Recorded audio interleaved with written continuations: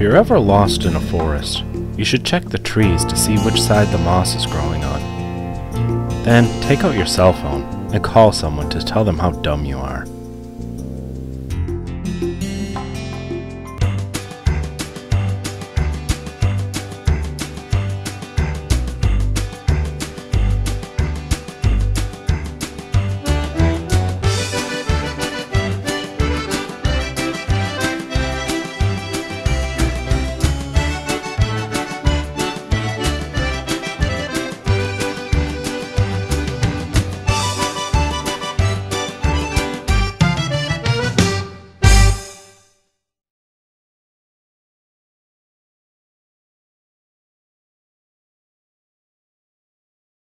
The next step in the ultimate tool cabinet build frame and panel doors. Today, raise panels. As with anything in woodworking, there's a lot of ways to do frame and panel doors. I mean, there's special bits that you can buy if you like spending a lot of money. If you like doing them by hand, you can use a hand plane. That's what I'm going to try today. What I'm trying to say is sometimes it's just fun to get out the hand tools and try something different. Of course, in the old-timey days, they had specialized hand planes that were cut in a profile so that you could have that special look to your raised panels. I'm just going to do it with a regular number 4 smoother. I've never done this before. I saw it done one time and it looked like a lot of fun. So we'll see how it works out. I don't remember exactly how I saw this done, but it seems to me the final thickness of the edge, which I marked with my marking gauge, is key. So I start each edge by planing a steep bevel up to that line. Then I lay it flat on the bench and I can start working it to the angle that I really want. I don't really hold a protractor up to this to try to guess what angle. I just go with the width of my plane and I get the first one done and now I'll try to match the other ones to that. One thing I do know is that you want to do the end grain portions of the panel first because it's pretty likely that you're going to tear out. And if you do the end grain first, then when you get that long grain on the other edges, it'll clean it up. This would be a lot easier to do with a longer plane, like this number 6. It has a long toe, which makes it easier to keep it flat on the board. But not everybody has a short joiner like a number 6, so I'm sticking to the number 4. I assume everybody's got this one. Some people call it long grain, some people call it side grain. I don't know what you call it, but I love to plane it. This is where you get the nice curl. I'm telling you, when the blade is sharp and the curls are flowing, there is nothing in the world like hand planing. This is why we still come back to these old tools in a world full of power. Now, this is my very first raised panel with a hand plane, and my stock was kind of warped. But I'm pretty pleased with the way it came out a little more work to even out the bevels, maybe some light sanding or scraping, and it's going to look pretty good. Now some people like the center portion of their panel to be raised proud of the bevels. To do that, I would have cut some grooves with the table saw when I started out, and then I'd get out one of my rabbet planes, because this would cut right up to a line, rather than having to have an even bevel from surface to surface. This is the way they would have done it in the old-timey days. So the results are in, and it was fun. I like doing it with a number four. If I only had one or two to do and I was doing a rustic piece, I think I would do it again. It is a workout though, but I figure after you do a few of them, you'll get used to it. I mean, Roy Underhill does stuff all the time that would just wear me out. I always feel like there's a jig for just about anything that you want to do. It's just a matter of whether or not you want to take the time to build it. And that's what we do a lot here at the Stumpy Nubs Workshop. It's almost like a test shop sometimes. We're trying out new ideas, new jigs, and then we put them together, and the good ones we show to you guys. Otherwise, we throw them in the trash or in the burn barrel. I don't know why you would skin a cat, but they say there is more than one way to do it. This jig is a unique way to cut raised panels with power. It's designed to make fast and easy raised panels with a router without having to spend a hundred bucks or more on a fancy raised panel bit. The basic shape I saw on the internet once. I can't quite remember where, but I remembered enough that I could make this, adding, of course, a lot of my own design features.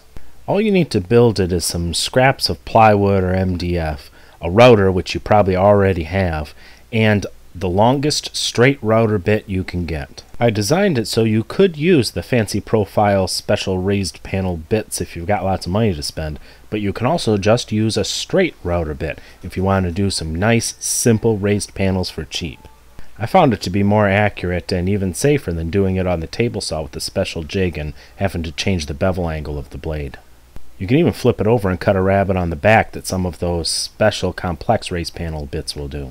That's something that really sets it apart from a simple table saw jig. It's actually a really great way to cut rabbets or tongues on the edge of any panel. It's fully adjustable up and down, and the angle can change however you want it. Rails and stiles, even angled mortise and tenon joints can be made by using a sled that runs in a miter track. It has T-tracks on top that provide a lot of clamping options and multiply what this machine can do. T-tracks great for making all sorts of jigs. I don't know what we did without it, but it's expensive, and this machine needs two long pieces of it. Why don't we just make our own? I cut a couple of dados in the sled that fit the T-track nut just perfectly. Then you add some quarter inch hardboard that just overlaps that dado a little bit on each side, forming a T-track. Actually, two T-tracks in this case. It saved me like 17 bucks. Now I have lots of places to put hold downs to hold all sorts of different stock as I run it through the machine. And simply changing the angle of the table can totally change the profile of the bit. The best part is how easy it stows away. There's no base, it's just held in your vise. So when you're done, you quickly just disassemble it. Take off your router to use on something else, fold it up, and stick it somewhere in the shop until you're going to need it again.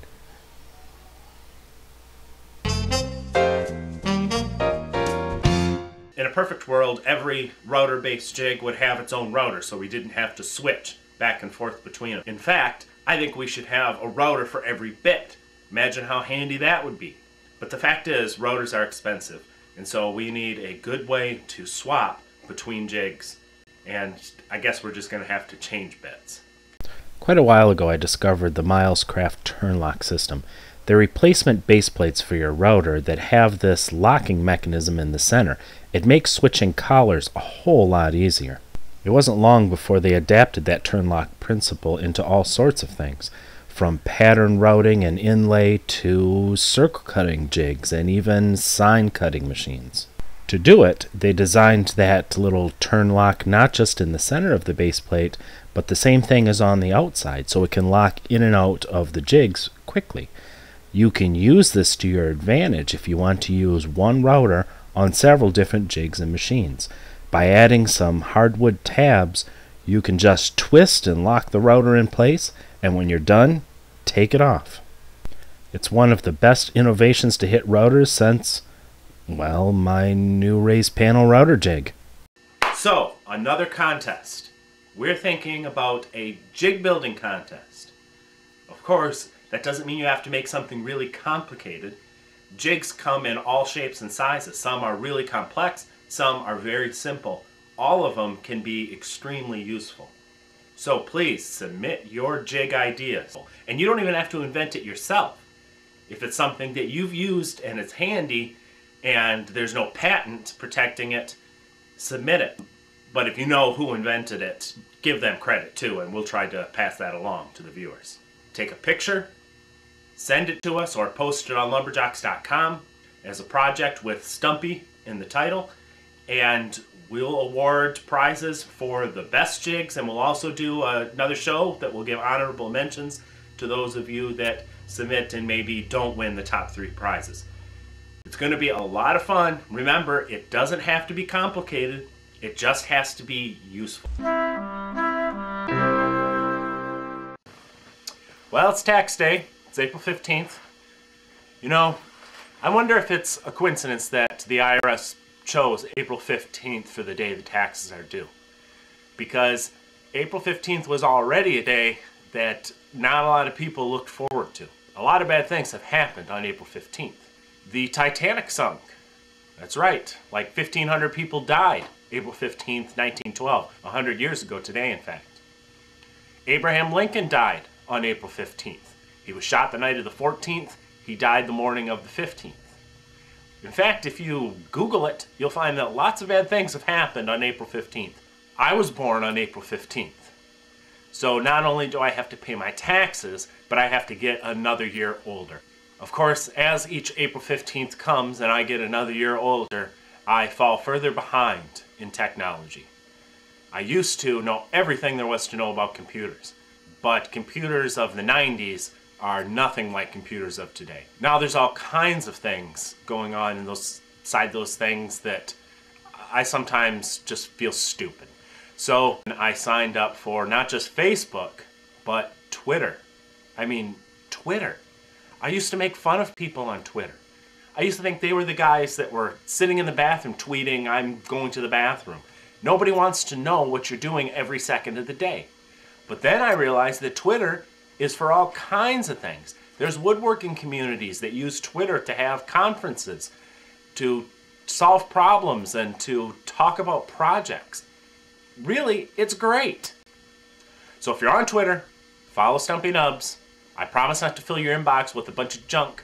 I'm not going to tweet you and tell you that I sneezed and this is the color of what came out. Only good stuff, and only once in a while. So sign up because we're just getting started and we've only got a few followers so far and it looks kind of pathetic. So we need your help. Then you can sit back, have a cold one. Just don't tweet me about it.